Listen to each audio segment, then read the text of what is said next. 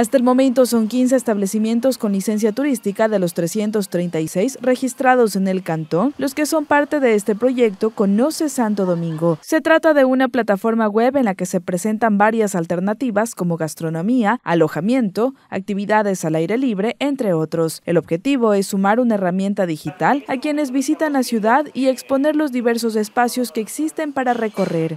Todos ellos están contemplados dentro de este aplicativo. Hemos iniciado con eh, los establecimientos, hemos hecho las visitas puntuales, establecimiento por establecimiento, para levantar la información. Que puedan conocer mucho más allá que Santo Domingo, solo vienes a hacer eh, algo comercial y te regresas, sino que te puedes quedar, puedes eh, aprovechar los hoteles, puedes aprovechar restaurantes.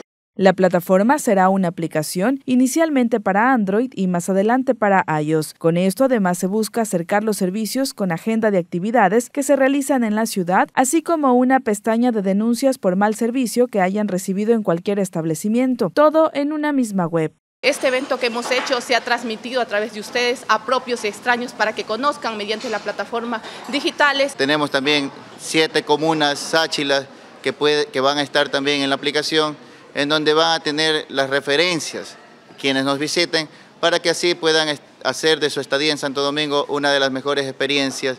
Según la Dirección de Turismo del municipio de Santo Domingo, esta plataforma no representa ningún costo para la institución. Fue creada por el personal que está dentro de esta área. Por el momento, se acercará a través de un código QR habilitado para cualquier dispositivo móvil con una conexión a Internet. Al momento se busca integrar la totalidad de negocios turísticos del cantón. Este año apenas 165 establecimientos renovaron sus permisos anuales de funcionamiento. Se prevé que con la actualización de 2024 se incluya también el ingreso a esta plataforma web que no tendrá ningún costo adicional para el propietario.